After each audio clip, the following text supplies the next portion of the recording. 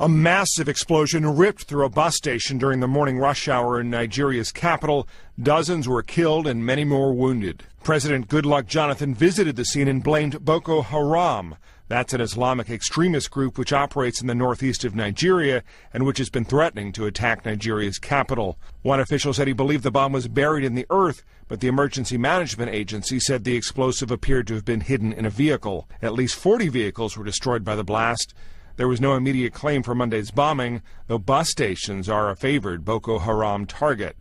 Matt Friedman, Associated Press.